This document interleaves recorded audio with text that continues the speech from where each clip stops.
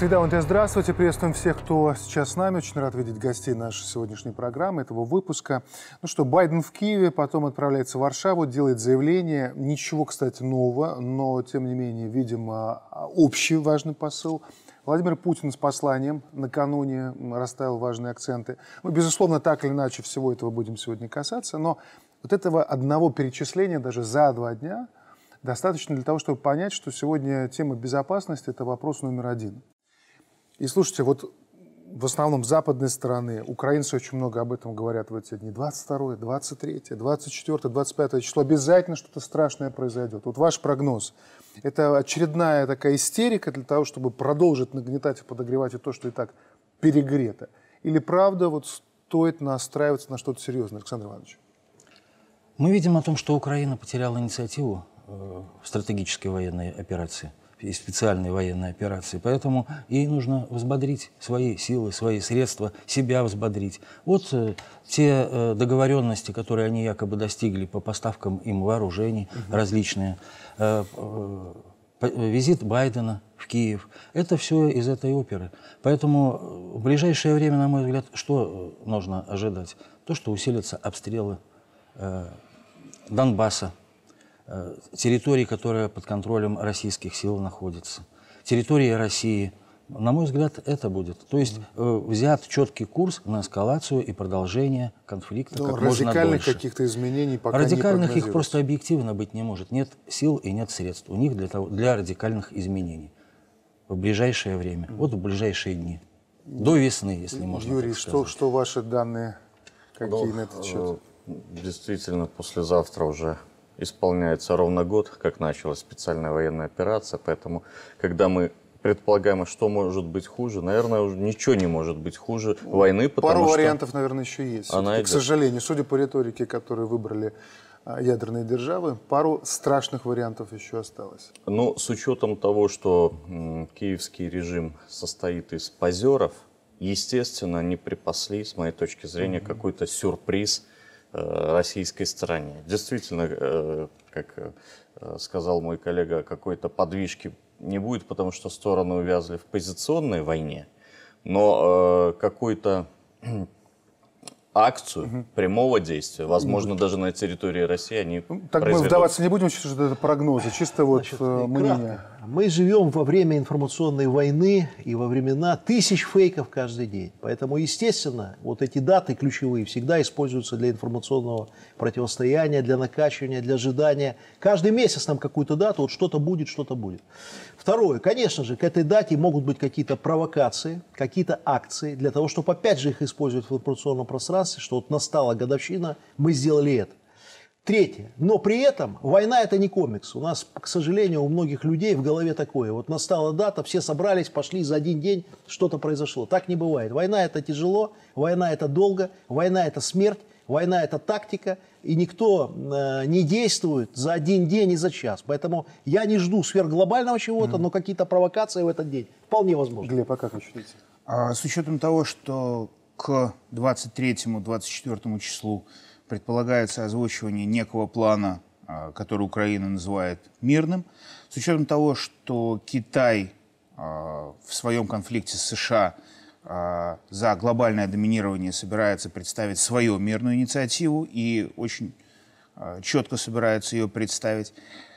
Это большие предпосылки к тому, что что-то перед этим должно быть. Ну и плюс ко всему, мы, как всегда, должны быть готовы ко всему, даже в не очень крупных операциях, потому что не очень крупную операцию в эпоху информационной войны можно раздуть до любого скандала за счет исключительно информационных технологий.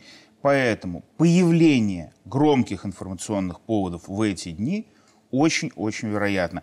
Другой вопрос, что они будут нести для э, перспективы даже кратковременной. Угу. Не обязательно это хоть какое-то будет развитие, но информационный громкий повод – случиться может. Пошуметь.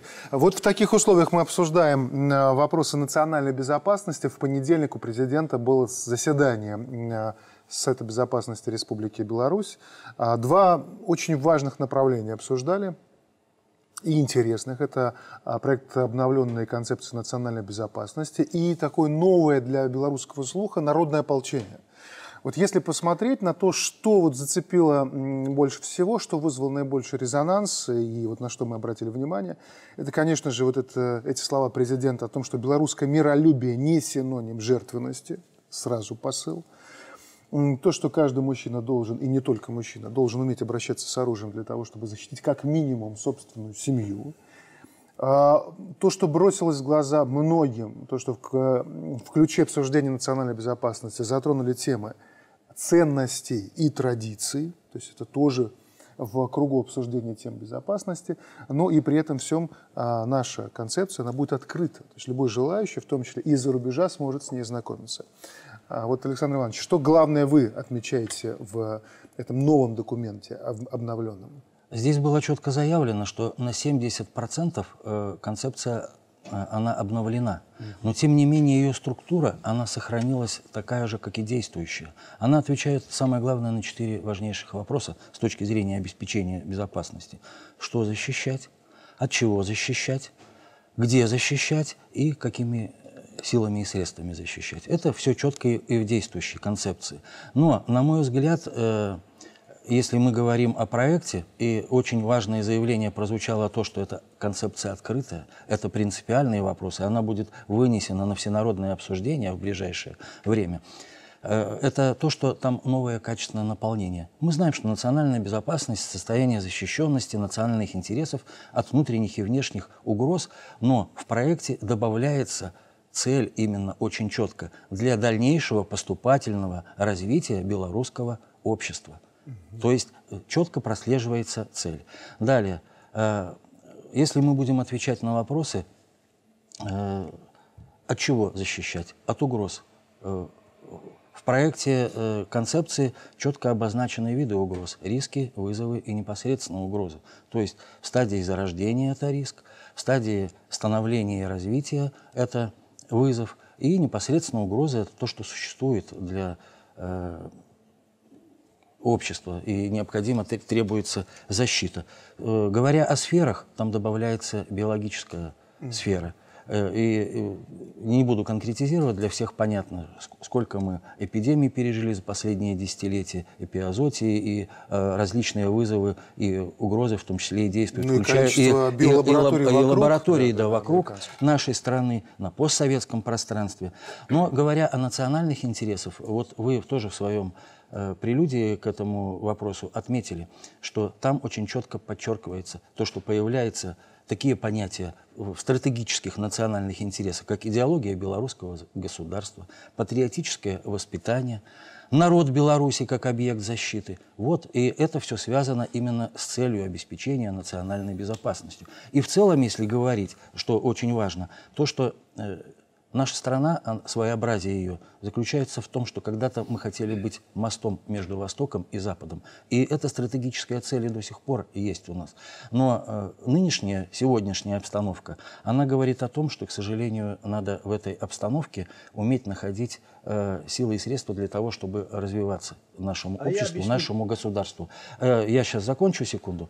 И э, именно говоря о стратегических национальных интересах, нам необходимо отметить то, что только если каждый член белорусского общества будет заниматься вопросами обеспечения национальной безопасности, тогда и национальная безопасность будет у нас обеспечена. Все правильно сказано, с каждым словом согласен, но вот люди смотрят нас по телевизору. Что они хотят? Каждый белорус хочет мирно жить, чтобы не было войны, чтобы в стране не происходили теракты, чтобы никто ситуацию не раскачивал, спокойно жить, развиваться. Кстати, это европейцы хотят. Так вот, документ, вот, который мы сейчас обсуждаем, это концепция национальной безопасности, закон о народном ополчении. Самое главное, что он идет, первое, от жизни – от реальных условий, в которых наша страна сейчас находится и живет. И второе, можно написать миллион документов, он прекрасный. Самое главное, что сейчас уже на протяжении всех этих лет, особенно последнего года, мы все делаем для национальной безопасности, то есть укрепляем ее. И, и а почему это надо делать? Опять же, хочешь мира, всегда будь готов к войне. И об этом президент говорил и на встрече с журналистами, причем он четко провел параллель, например, с Великой Отечественной войной. Кто-то ее не понял, я, например, очень хорошо понял. Когда СССР забалтывали на протяжении лет многих и говорили, мы никогда на вас не нападем, войны не будет. Президент сказал, больше такой ошибки в Беларуси, например, никто никогда не повторит. Мы никому не угрожаем на самом деле. Мы никогда не претендовали ни на какие территории. Агрессии с нашей стороны не было и нет. Но верить сказкам, что вы нам не угрожаете, мы больше не будем. Мы еще обсудим, наверное, Байден вчера стоит, Россия. Поговорим, да. поговорим. Мы не угрожаем. А кто наша главная угроза сегодня? Польша есть, есть Соединенные Штаты Америки, есть Украина. Вот кто у нас- для нас угроза номер один? Я бы, э, самая главная угроза – это внутренняя стабильность в стране. Никто извне никогда в жизни Беларусь не победит. Вот самое главное – это укрепление, чем мы занимаемся, внутреннего единства, внутренней политической стабильности. Сейчас она действительно укрепилась, потому что извне ни один враг никогда нас не уничтожит. И В всё числе, же, и вот всё мой же. коллега много про это скажет и говорит, и правильно говорит. Информационная И безопасность. все же, Олег Сергеевич, смотрите, вот у нас есть Польша, которая как такой обезумевший качок вот, э, вгоняет в себя стероиды, накачивает мышцы, если так дальше пойдет, она доведет себя до остановки сердца. У нас есть, закрывает границы, у нас есть Соединенные Штаты Америки, которые нас, Беларусь, впервые внесли в свою концепцию Сказать национальной безопасности. Украина... Про Польшу. Ну, Я давайте, скажу пожалуйста. непопулярную вещь про Польшу. Вот то, что поляки сейчас накачивают вооружение, то, что они сделают, делают на границе, польские элиты не думают об одном. Если они э, втянут всю Европу в войну, а не получится так, что Польша, например, втянула Беларусь, если вдруг у них когда-то бы это получилось, то это не получится, и, они, и кто-то отсидится там, то Польши не будет через час. Никто не понимает из политиков польских. И, например, литовский президент, который Я- сказал, давайте перейдем красные линии, он не понимает, что через 20 минут Литвы не будет. Это просто вот этот языковой трюк. А кто? Для нас Польша главный враг сейчас? Э, польский народ нам не враг, а, а Польша сама агрессивное государство, которое на сегодня угрожает нашей национальной безопасности. И это мы говорим в открытую. Мы э, предупреждаем польских политиков об этом, что мы никогда не потерпим это. Мы это видим, мы это смотрим, и нам есть чем ответить. Я почему задаю этот вопрос? Потому что мы из года в год, вот до 2020 года, говорили о том, что мы миролюбивые, мы, э, и так оно и есть. Но при всем при этом, если мы обманываем себя и четко не обозначаем для себя, как, например, те же американцы, которые говорят, у нас есть Россия, у нас есть Китай, Беларусь, они вписали себя. Украинский режим враждебный, Вот кого мы Польское должны иметь в виду в качестве враждебно, потенциального врага? Прибалтика враждебно. Значит, но здесь надо еще учитывать, что политика сложнее немножко. То есть мы понимаем вот эту общую тенденцию, Понятно, которую мы мы же не видим. собираемся нападать, но мы должны понимать, а, кто, и если там что, не все так однозначно внутри отпор. этих стран самих. Понятно. А, Глеб, как считаете? А Как было замечено совершенно верно, я буду говорить про информационную составляющую. И в понедельник, когда обсуждался вопрос, в том числе и по народному ополчению, у меня возник один вопрос. А, Делается на традиции, на наши идеи посыл, из чего исходя предполагается, что каждый будет защищать свой дом, и исходя из этого, соответственно, будет укрепляться общая национальная безопасность. У меня вопрос. С учетом того, что в глобальном информационном пространстве на сегодня есть четкий посыл с Запада через культуру, через СМИ, через э, новые медиа о том, что индивидуализация, я бы даже сказал, атомизация человека в рамках общества – это позитивный процесс. С учетом того, что спасай себя, и все будет хорошо. В крайнем случае можно переехать в Новую Зеландию. И когда вот это пропагандируется очень и очень за большие деньги, сколько денег мы потратим на то, чтобы наши правильные, традиционные, идейные ценности защиты родного дома, своей семьи, своего очага, они будут э, в информационном пространстве присутствовать. Это вопрос главный, как я считаю, потому что мы надеемся на то, что неизменны наши традиционные ценности. К сожалению, они находятся под прямым э, ударом, под, э, они как раз находятся под угрозой. Их как раз пытаются расшатать. Вот эту базу. А возвращаясь э, к Польше, польские политики очень сильно думают, что им делать в осенние выборы. И с учетом того, что они прекрасно знают, что нынешнюю партию «Право и справедливость» в осенние выборы будут оппонировать не русские, не э, коим образом не мы, их будут оппонировать Германия через э, Туска, через э, тех же Швабов и так далее, и так далее. Им необходимо представить максимально э, яркий образ медийный, неважно какими средствами.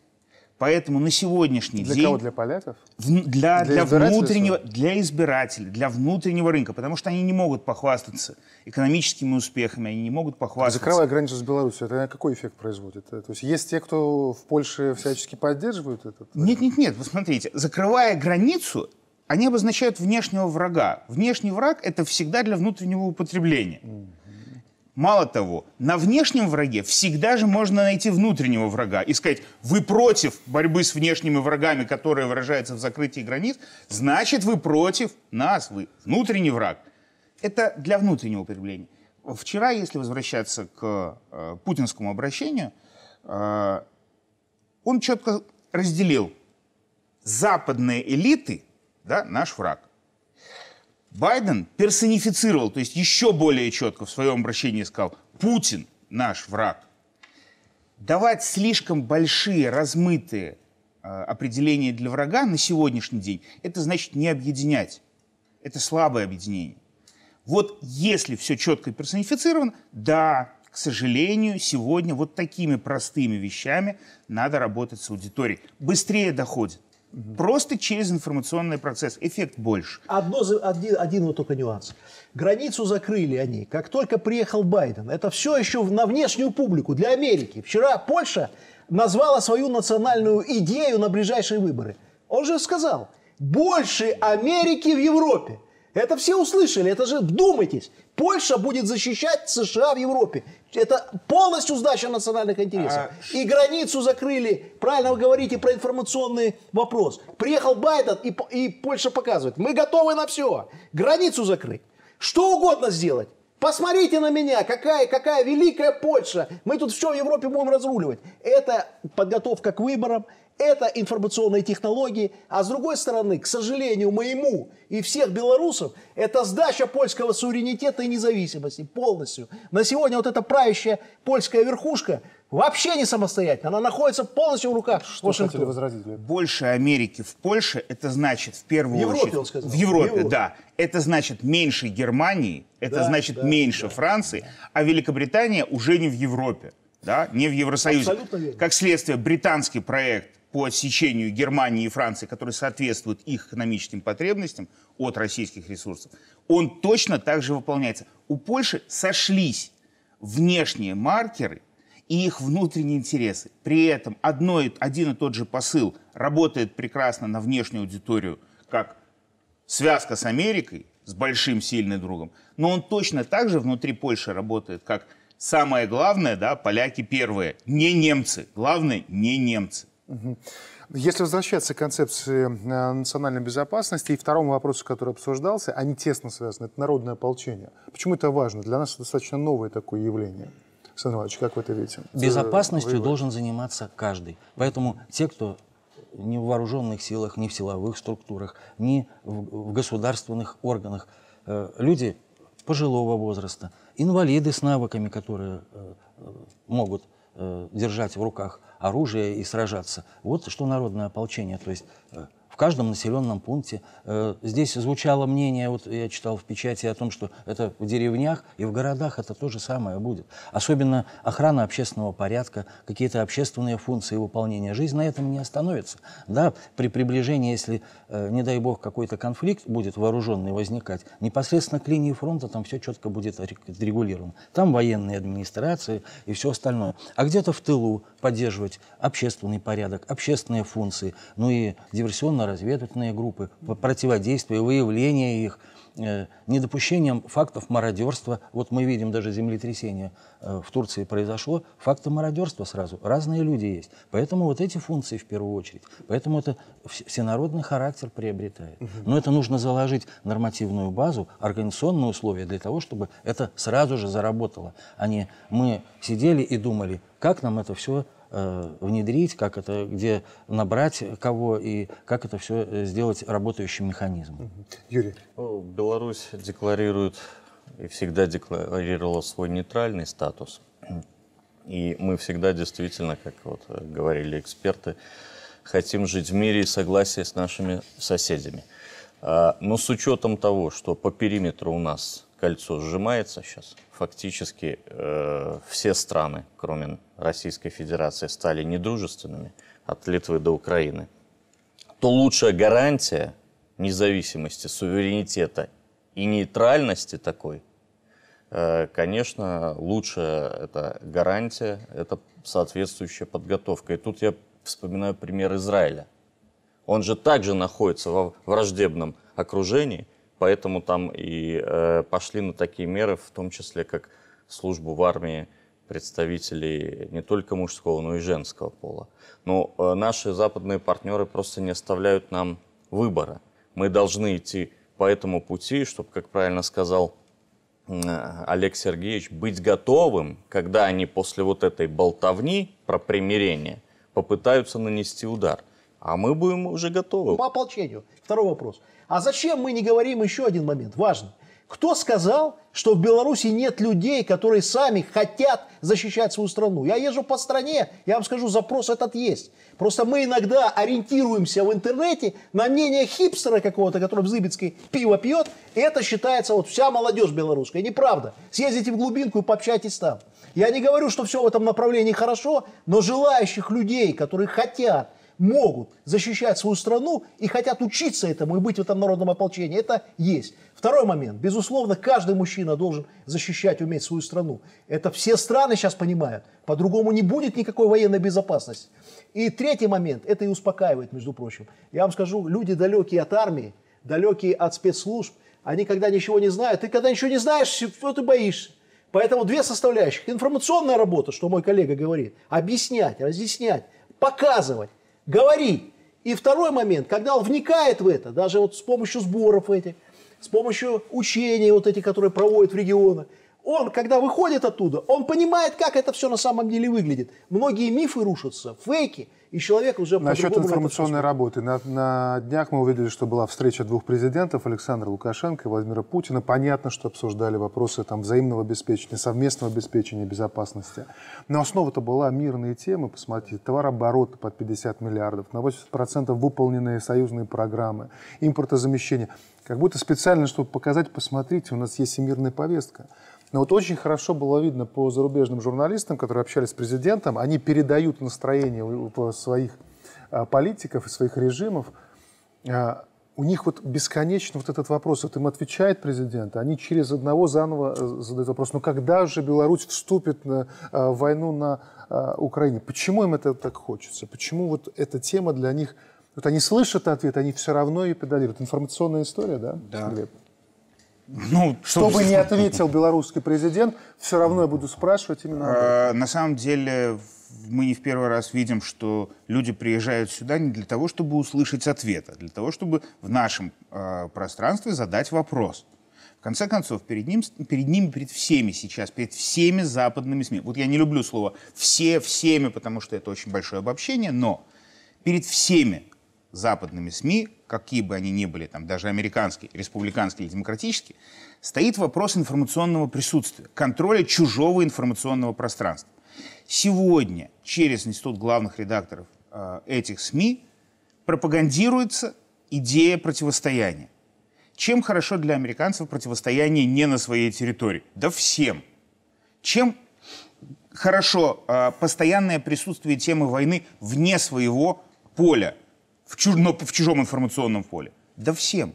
Они сюда приезжают донести до нас напряжение. не услышать. Нет, они а сюда донести, приезжают да. для того, чтобы каждый своим вопросом внести нервозность. Потому что прекрасно осознают, что да, они контролируют определенную долю пространства, очень большую, слишком большую для внешнего фактора в новых медиа. Но при этом они знают, что в классических медиа они присутствуют хуже. Да, им выход такой. Они встречаются с первым лицом, которому здесь доверяют, для того, чтобы высказать хотя бы в краткой вопросительной манере свою, свой Который посыл. не убежит от неудобного вопроса. Нет, идет. который Например, Байден ответит. развернулся и пошел на автопилоте. А, давайте послушаем, как президент ответил на этот вопрос. готов вместе с россиянами воевать с территории Беларуси лишь только в одном пока случае. Если оттуда хоть один солдат с ружьем придут на нашу территорию убивать моих людей. Это касается не только Украины.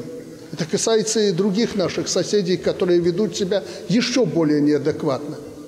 Если они совершат агрессию против Беларуси, ответ будет жесточайшим жесточайшим, и война приобретет совершенно иной характер.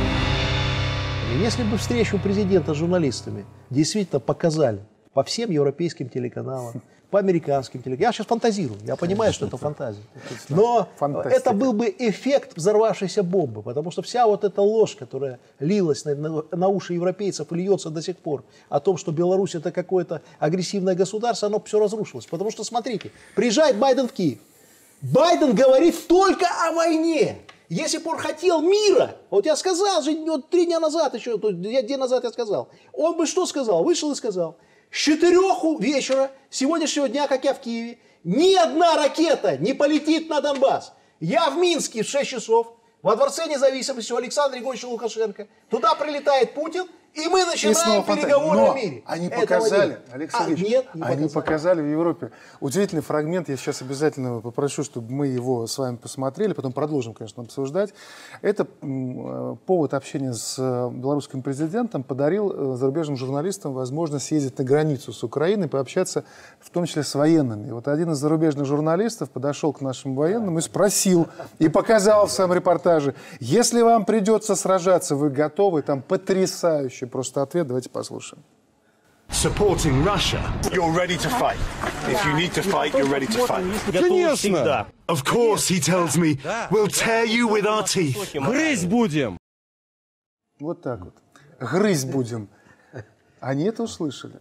Эм, Ну и, соответственно, полностью подтвердили свой шаблон, который а, они, собственно, и выстраивают. Дикие орды с Востока, со времен Толкина, да, которые будут приходить и грызть. Отдавайте деньги американцам, они нас прикроют. Но могли показать и другое. Могли показать, но показали именно то, э, собственно, зачем их э, сходили. Для нас. и Глебу не, по- не понравилось. Нет, нет, нет. Почему они Смотрите, для закрывают границы нашего, еще? для нашего восприятия, почему? Для нас грызть будем, да, это в том числе и очевидно саркастический момент. Тонкости языка. А для английского простого перевода Съедим. съедим, да, ну все, варвары, дикари. солдат. Коннотация. Почему этот момент вырван без предыдущего диалога? Ведь это явно не первый вопрос, который был задан, Это да? тот самый журналист, который из, пол- по-моему, пол- из часа интервью с президентом оставил 7 минут Совершенно справедливо. Не первый день работающий в структуре, которая была в свое время а, создана для По-моему, единственный, кто не трансляции. записывал во время интервью, потому что он уже знал, что он скажет. Да, он знал, что все написано. И почему закрываются границы? Вот здесь прозвучало, но я дополню. Потому что мы ввели безвизовый режим. И для Польши, когда десятки тысяч граждан сюда приезжают, видят, что здесь происходит у нас, что все мирно, экономика развивается, люди, у людей глаза горят, потому что они работают на себя и на свою страну, и у них есть перспективы нормальные, мирные перспективы. И когда они приезжают, это все в 10 раз больше, потому что есть родственники, знакомые, друзья. А закрыл границу, и все, милитаризация Польши продолжается. А, Почему э, здесь с Укра- э, э, очень важна э, специальная военная операция на Украине? Потому что наши беглые отвечают на почему задают западные журналисты такой вопрос. Потому что они ставку сделали на поражение России, а тогда уже возьмутся за Беларусь. Украина стратегически им важна, а Беларусь э, в пять раз важнее, чем э, это Вот, вот и ответ, почему западные журналисты задают такие Юрий вопросы. смотрите, э, Олег Сергеевич затронул тему все-таки несколько раз уже по по поводу того, что президент пригласил Байдена. И действительно, многие превратили сразу в хохму, да, что президент троллит Байдена, вот приедь. Но мне кажется, что просто, вот я согласен с Олегом Сергеевичем, растерялись многие, потому что это кратчайший путь к, к тому, чтобы остановить э, кровопролитие а, на украинском фронте. Мы прекрасно понимаем, что это ни разу не в интересах Соединенных Штатов Америки, ни разу, и они, поэтому президент сам об этом сказал, они, конечно, на это не пойдут. Но, тем не менее, это ведь не был троллинг. Не было. И чего тут а, значит, иронизировать, если на нашей земле, в том же Дворце независимости, э, происходило подписание Минских соглашений. Я не думаю, что канцлер Германии или президент Франции э, статусом меньше, чем президент Соединенных Штатов. Поэтому, конечно, президент Лукашенко предложил самый э, короткий путь, самый простой э, значит, э, вариант решения вопросов.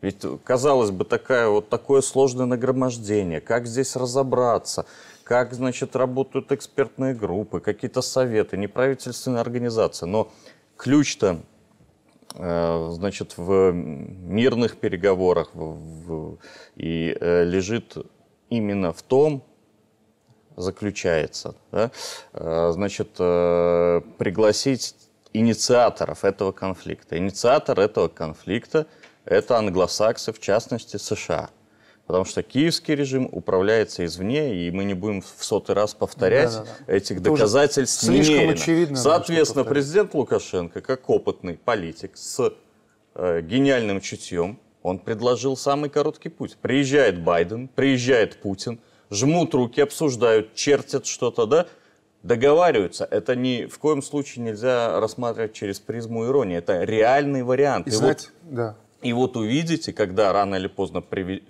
значит, этот вариант будет осуществлен, потому что все равно э, будут договариваться, наверное, супердержавы. Ну, возможно, это будет уже не Нету Байден. А, на днях, Алексей Сергеевич, на днях услышали в Соединенных Штатах Америки посыл Лукашенко, и знаете, кто это прокомментировал? Дональд Трамп. Сказал, что будь он президентом, 24 часа э, войны бы не было. Вот послушаем, какими аргументами он это все сопроводил. Я буквально в ту же ночь, как узнаю о своей победе, позвоню двум людям. Знаете кому? Путину и Зеленскому. И скажу им, нам нужно встретиться. Мы встретимся. Я гарантирую, что смогу все урегулировать. Я знаю, что именно им сказать. Я скажу этому одно, другому второе. И скажу, вам лучше договориться. Мы заключим соглашение в течение 24 часов. Ну, видите, мы инициативу предлагаем, а Трамп ее плагиатит. Это говорит о том, что эта инициатива абсолютно здравая и прагматичная, и она реально может обеспечить мир между двумя странами. Когда начинают европейские политики врать, что никакого пути к миру сейчас нету, Лукашенко, все прекрасно понимая, осознавая ситуацию, показывает лишний раз, еще раз. Он есть этот путь, он простой. Вы просто не хотите по нему идти, вот и все. Вот, правда. Вот и весь Короткая вопрос. реклама, после чего продолжим разговор. Вот, наконец-то, пытаемся понять, все-таки для кого приезжал Байден а, в Киев. Кому больше была нужна эта встреча. Оставайтесь с нами.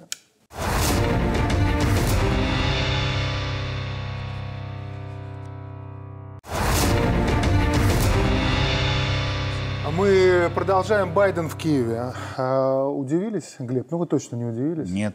Я не...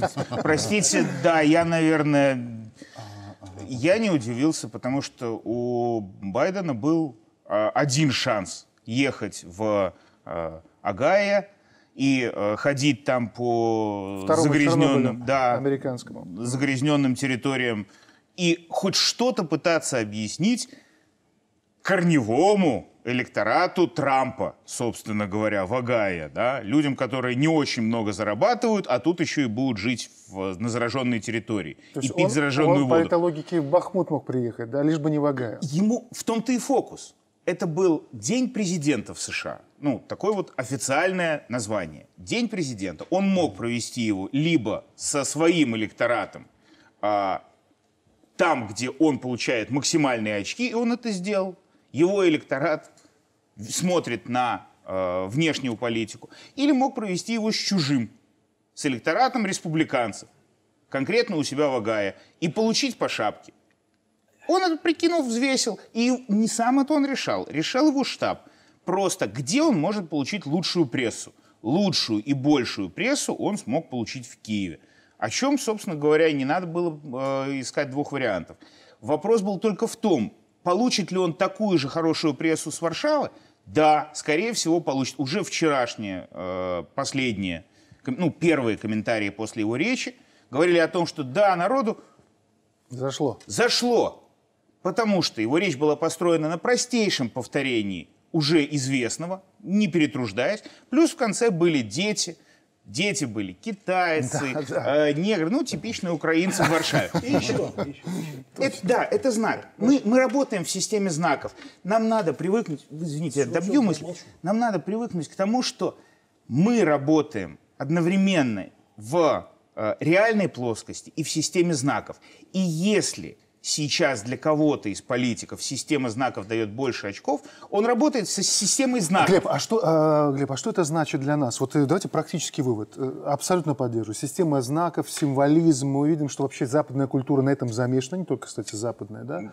А на, на каких символах тогда должны говорить мы? Генерировать новые, либо Вот поднимать из... здесь э, вот это наш выбор. И это мы возвращаемся к первому вопросу. Хотим ли мы э, создавать новую символьную систему или же мы должны реально вкладываться, чтобы рекламировать традиционные ценности. Как ни прискорбно это звучит, но самые простейшие вещи я, мы, мама, мир, вот то, что мы прописывали прописью да, в школах, в детских садиках, первые слова, которые мы рисовали. Вот сейчас все это работает не через слова, это работает через образы и эмоций. Да, нам необходимо придумывать новую рекламу, которая бы действовала на младшее поколение. Когда вы заговорили о том, что в народное ополчение будет опираться на взрослых людей, даже, ну, там, а, даже стариков, да, правильно. Но когда мы говорим о примере Израиля, пример Израиля начинается с чего? Пример Израиля начинается с того, что все знают, что они пойдут в армию в молодом возрасте. С детского сада и школы. Совершенно справедливо. И когда первый журнал политический рассчитан на младшего школьника, это нормально. Да, необходимо работать с младшей аудиторией. И да, через тот язык, который у них есть. Может быть, не стоит придумывать новую систему ценностей, нужно придумывать новый язык, язык образов, язык эмоций, который бы сейчас воспринимался молодежной аудиторией, который бы давал тот эффект. Трамп, когда говорит короткими, четкими словами, он, когда говорит с политиками, он употребляет более длинные слова. Когда он говорит в публичном пространстве, он употребляет короткие слова.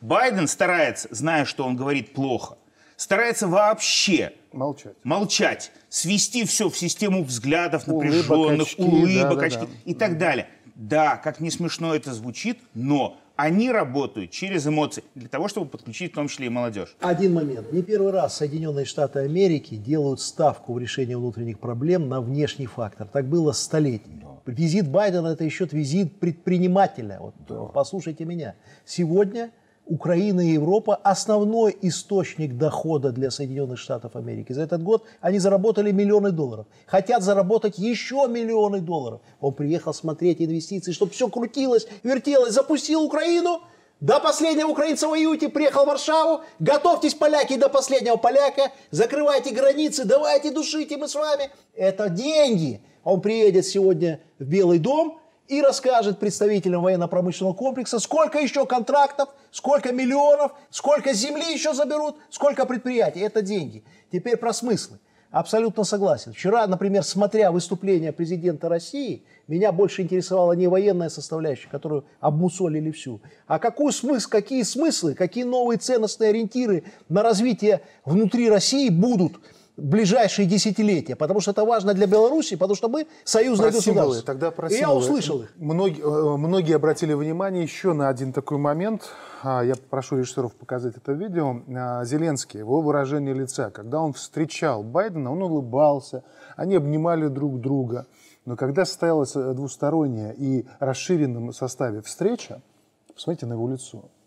Оно злое, и эту злость он скрыть не может. И многие задаются вопросом сейчас, что такое мог сказать Байден Зеленскому, что президент Украины стал мрачнее тучи. Или не сказать. Или, Или не сказать. Вот что мог не сказать, а я либо думаю, сказать? что не сказать, потому что я думаю, в глубине души Зеленский понимает вот этот небольшой цирк и игру, в которую он сам играет.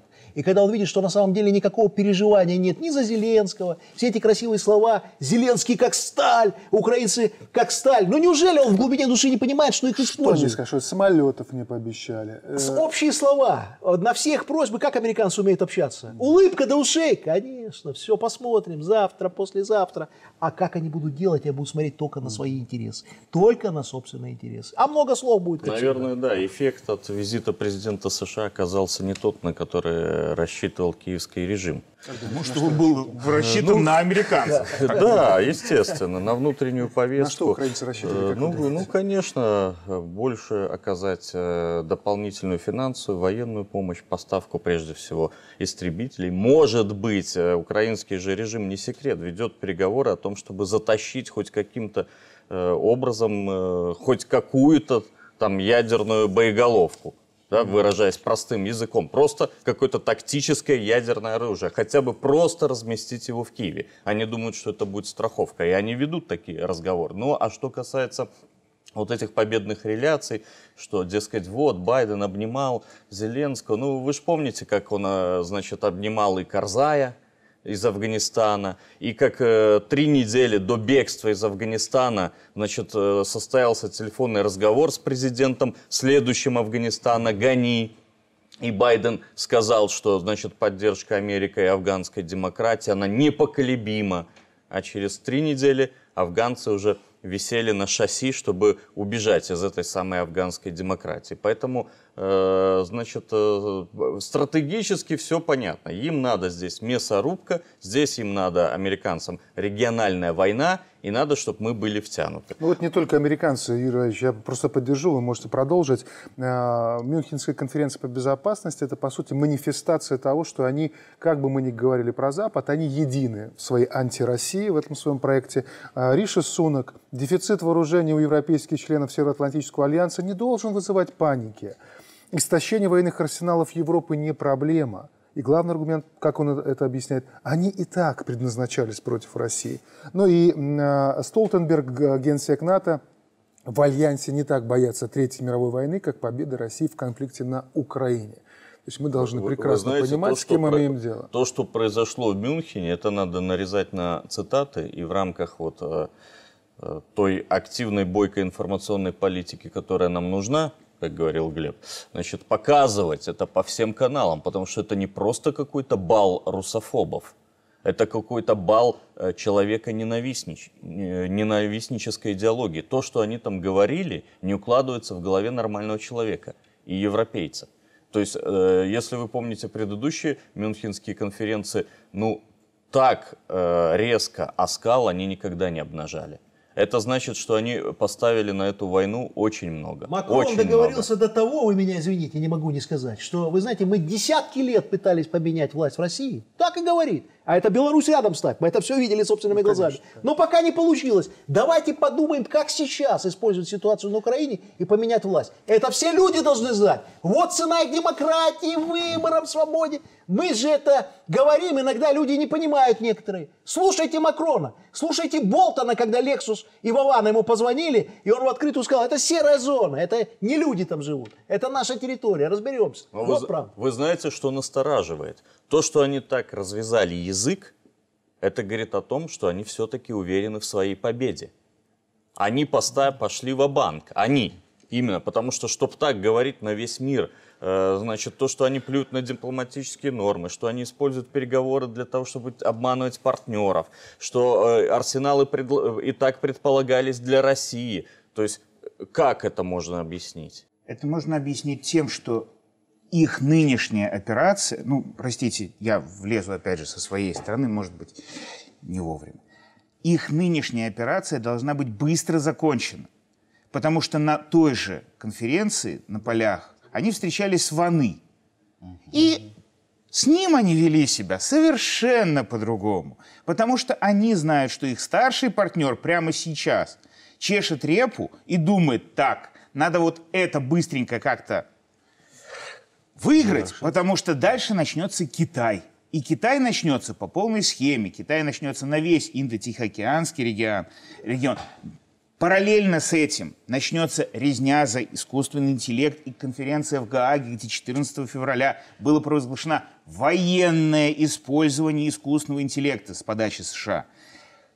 Те же э, учения в Северном Ледовитом океане, впервые военные истребители в, э, на севере Гренландии.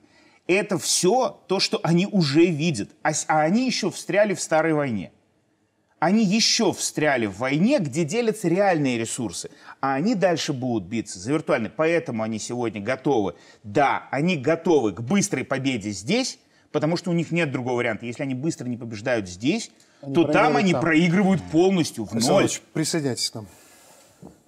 Здесь прозвучало о том, что э, почему такой грустный Зеленский. Ну, я свою- Злой. Э, Он да, не грустный, грустный, злой, гру- да. грустный, злой, неудовлетворенный, будем так э, Ну по-простому говорить. так. Да. Э, Почему? Я свою версию выскажу. Потому что то, что он хотел услышать, естественно, не прозвучало. А на мой взгляд, Байден тоже готовится к 2024 году, к выборам. А с каким багажом он идет? И вот эта его поездка на Украину, шоу «Must go on», да, шоу продолжается, это тоже свидетельство того, что ему нечего во внешней политике показать американцам, что у него есть в багаже. Э, Про Мюнхенскую конференцию да, был представитель Китая, высокопоставленным, с которым до конференции должны были состояться контакты, но потом э, из-за э, зонда вот этого китайского эти контакты не состоялись. То есть э, нету понятия у европейских, у европейского истеблишмента, что будет дальше. И Китай, э, интрига заключается в том, что нету его заявлений о том, какое его видение на продолжение этого конфликта. Поэтому сейчас я думаю, что будет последний вздох вот этого коллективного Запада по накачке вооружений для того, чтобы одержать Да, быструю а победу. Вот вы дальше Если нет, значит будут договариваться насчет, с э, Россией. Китая. А разве это не является видением Китая? Ван И как раз на полях Мюнхенской конференции, это много раз его называли, сейчас один из самых высокопоставленных китайских дипломатов, он говорит, мы убеждены по поводу Украины. Мы убеждены, что эту кризисную ситуацию можно урегулировать только путем мирных переговоров. Это первый раз. Ну, а второй это посыл, в первую очередь, наверное, украинцам. Некоторые силы не хотят мира на Украине, и их стратегические цели простираются за пределы этой страны. То есть то, о чем мы все сегодня уже сказали, Украина не есть цель. Да? Это лишь промежуточный этап. Да, продолжите, пожалуйста. Дело в том, что коллективный Запад, он видит, что э, на два хода вперед Европа еще просчитывает, но американцы просчитывают намного дальше. И любые войны, сколько бы они ни продолжались, все равно заканчиваются переговорами и миром. Поэтому, если в ближайшее время они будут активизацию вот этих попыток перехватить инициативу, добиться больших успехов. Для чего? Для того, чтобы были более выигр- выигрышные условия для ведения переговоров. Вот максимум, на что они рассчитывают. Э, Прозвучало с стороны Запада, что нельзя победить ядерную державу. Поэтому о победе всесторонней. Это можно для наших э, оппозиционеров говорить, что мы одержим победу в Украине и возьмемся за Беларусь. Но все, кто здраво А и объективно оценивают, они понимают, что победы нету, потому что и не будет ее объективно. Можно более выигрышные условия для мира, для того, чтобы заключить мир и сконцентрироваться в том числе на противодействии Китаю, потому что в стратегии национальной безопасности США Китай стоит на первом месте, не Россия. Борель так и не смог ответить нормально на вопрос Ван Ли, который спросил его, а слушайте, вы можете поставлять оружие Украине, а почему я не могу поставлять оружие России? Что тут плохого? В чем разница? Э, Борель пытался объяснить, что это другое, но я думаю, что нормального объяснения и не может прозвучать. Вот он, Конечно. стандарты. Вот во- вопрос еще для того, чтобы мы как-то собрали воедино вот разные э, мнения, которые сегодня прозвучали э, в этой программе. Вот когда наблюдаешь действительно за тем, что происходит в Украине, пытаешься понять, как они дошли до жизни такой, понятно, что множество разных факторов, но при этом нужно понимать, что есть важные внутренние факторы. Они в какой-то момент заигрались в политику, тянули, тянули, порвали государство, и туда хлынули бесы самых разных мастей. Нацисты, мы видим сейчас танки, которые ездят с крестами, вот эти нацистские приветствия, а, присвоение почетного звания Эдельвейс одной из э, бригад и прочее, прочее. Запад этого не видит. Почему? Потому что он этой карты уже играл. в 20 веке, и она неплохо заходит и сейчас. Мы сейчас занимаемся строительством гражданского общества, продолжаем строительство, законы о политических партиях, о гражданском обществе, обновленный статус ВНС. Вот как нам так строить наше гражданское общество, чтобы через некоторое время оно не превратилось в место разрыва, куда вот как на Украине хлынут эти бесы, там, нацисты, и мы за э, как-то попытка подменить идею патриотизма вот упакуем в идею патриотизма то, что к патриотизму не имеет никакого отношения. И какой-то дядя за океаном будет нам указывать, как нам и с кем вести войну. Вот, Олег Сергеевич, на чем мы должны быть сосредоточены сегодня? Тема очень такая сложная, но постараюсь очень кратко. Первое. Не путать демократию с вседозволенностью и отсутствием закона, и отсутствием каких-то правил в политике и в построении гражданского общества. Это первая ошибка Украины – когда э, все должно быть демократично, все могут быть. Ну и что, что это фашизм, демократия? Ну и что, что эта партия выступает против Конституции? Они имеют право голоса, это демократия, свобода. Ну и что, что они хотят, перехожу на Беларусь, убрать русский язык с государственного, уничтожить Конституцию. Все, что мы сделали, это демократия. Вот это первая ошибка, которую никогда допускать не надо, чтобы не произошло вот это вот. А вторая ошибка – это внешний фактор допустить в политику. Украина с начала развала СССР его допустила. Беларусь, я смотрел недавно, вы знаете, это надо показать по телевизору, когда сидит, может, назову, ничего страшного, Тихановская сидит и общается с руководителем фонда Сорос. И он жалуется, Беларусь одна из первых стран, кто выкинул нас отсюда. Так это счастье наше, это спасибо надо Лукашенко сказать. Внешний фактор с политики убирать навсегда – как только мы их запускаем сюда, эти фондики, этих дипломатиков, которые сидят за круглым столом, и мы отчитываемся им, как мы выборы провели, или перед выборами, знаете, мы будем стараться демократично, чтобы соответствовать вашим стандартам. И, вы, вы слышите нас, услышите нас. Конец, все, развал страны. Два момента. Не, демократию не путать с законом. И второе – это убрать внешний фактор. И тогда не допустим этого. Спасибо, Никогда. Алексей Сергеевич. Юрий. Должны быть созданы соответствующие механизмы, и они уже созданы. То есть первый этап э, вот это формирование новой политической реальности, он закончен. То есть принят закон о политических партиях, о гражданском обществе, о всебелорусских народных собраниях, завершилось э, изменение избирательного законодательства, да, Следующий этап, уже следующий год, перезагрузка такой политической системы. Но э, ведь в Украине э, эта ситуация, к этой ситуации пришли не за один год. Там э, как минимум три десятилетия разлагалась вся политическая элита. В том числе потому, что средства производства все на Украине принадлежали олигархам. У нас-то средства производства принадлежат э, белорусскому народу. И, естественно, олигархи игрались э, своими марионеточными партиями. И вот они к чему привели. Кстати, очень интересные цифры поднял. Э, ровно год назад, когда правительство Украины значит, обсуждало бюджет в Верховной Раде, оно дало справку пояснению о количестве проживающих в Украине. И там это было количество зафиксировано их э, правительством в 35 миллионов. Это, представьте, было 51 миллион по переписи в советское время, в 90-м или 91-м, и стало 35. Что с этих произошло 35? Пять с половиной официально находится сейчас в России, еще пять в Европе, то есть минус 10, и еще пять нигде не учтены, но тоже разбежались по всему миру. США, Канада, э, Латинская Америка. То есть сейчас в Украине находится не более 20 миллионов человек. Это мы говорим почему. Вот к чему привели безответственные политики, которые были, да, возможно, более симпатичны молодежи и зашли, поэтому эту информационную войну на образах проиграла, э, значит, э, российская сторона. Но в итоге, посмотрите, что в итоге произошло. Воюющая страна с, с катастрофически низким для такой территории населением. И вот чтобы такого не допустить, мы запустили вот это формирование новой политической реальности. И вот эти законы, они не допустят правила и процедуры, регламент, они не допустят, чтобы такие э, люди, как в Украине, пришли к власти. Никогда. Услышали. Глеб. Если два ключевых составляющих, да, внешний и внутренний фактор, политики и э, информационный контроль, да, мы, допустим, можем не допустить политиков, тем более те же фашисты в Германии пришли демократическим путем. Вот. А первой страной, которая выгнала фонд Сороса по-крупному, была как раз-таки Великобритания, если вспоминать да. небольшую историю.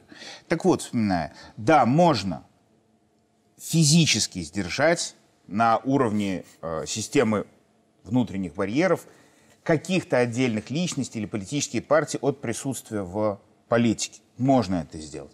С другой стороны, до тех пор, пока мы не будем контролировать информационное пространство, не будем популяризировать свои образы, не будем вкладывать реальные деньги в рекламу простейших вещей, а потом более сложных вещей, мы не сможем удержать следующее и следующее и следующее поколение от того, чтобы они не выбирали ярких, пустых, раскачанных по технологиям, дружащих с иностранными структурами, говорящих на разных языках и красиво одевающихся, и у них еще будут красивые носки, да, как у Трюдо. Вот, мы не сможем. Мы не сможем навсегда зафиксировать политическую реальность в той ситуации, когда никакая внешняя сила не способна пропихнуть своего человека, если мы не э, сможем контролировать информацию. Контроль информации сегодня первичен. Контроль информации, основанный на контроле эмоционального э, сектора, культурного, идеологического, да, но культурного, информационного, вот этого. Вот здесь очень момента. предметная ремарка буквально на минуту. Поэтому дополняя нашу систему сдержек, противоречий, балансов, барьеров, мы должны все брать лучшее от этих квартальщиков. Потому что все, что они делают в информационном э, пространстве, это просто блестяще. Лучшие у этих квартальщиков были деньги Коломойского, которых он не жалел. Ничего брать не надо. А, коллеги, Александр Иванович, а, что может стать нашим оберегом? Какие у нас а, задачи? Здесь мы говорили об инструментах именно укрепление нашего общества, если можно так в общем сказать. Но никакое внешнее воздействие, оно не может быть продуктивным, если есть внутреннее единство, если люди уверены в завтрашнем дне, если у них есть стабильность. Стабильность и в экономике, и в политике, и в культуре, и во всех остальных, и в семейных отношениях в том числе. Поэтому у нас есть духовно-нравственные ценности, если говорить научным языком. Если говорить по-простому, то нужно слышать свой народ – и, и говорить, и проводить всегда справедливую политику, о чем неоднократно и президент нашей страны говорил. Главный вывод, на мой взгляд, который мы сделали из 2020 года, это на модернизацию всех сторон нашего общества, включая и политическую систему. И те изменения Конституции, которые мы год назад приняли, и теперь реализовываются, и Всебелорусское народное собрание, и политические партии развития, и развитие гражданского общества, на все это нацелены, в том числе и информационная составляющая, информационная безопасность. Поэтому, если мы людей будем слышать, реагировать, то никакое внешнее воздействие, в какой бы степени и кто бы э, не подвязывался под это, оно все уйдет в песок. Вот, поэтому мы должны слышать своих людей. И не только власть, которая находится, центральные органы, но и райисполкомы, и сельсоветы, и колхозы, и предприятия. И не спать там да. Спасибо. Спасибо за ваше мнение, которое сегодня прозвучали в этой программе. Я благодарю наших гостей за то, что они поделились своими соображениями по поводу событий происходящих. Спасибо нашим зрителям. На сегодня все. До встречи через неделю. Счастливо.